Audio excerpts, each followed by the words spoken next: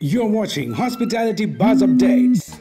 Abu Dhabi based bakery Maison Sucre is revamping its menu with the launching of several new sweet treats to match its famed product lines consisting of unique cupcakes and bespoke cakes and confectionaries.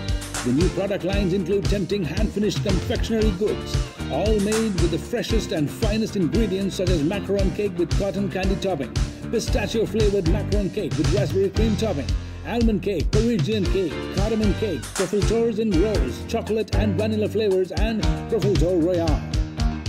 To get your news on Hozpitality Buzz, contact email at hozpitality.com. Produced by 12th Real Media Productions, Dubai.